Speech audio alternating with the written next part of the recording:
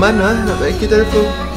Ni demo terasa di website Factory Mobile lepas tu di Facebook Factory Mobile sebab dia ada service repair ke apa demo terasa dah tu lah.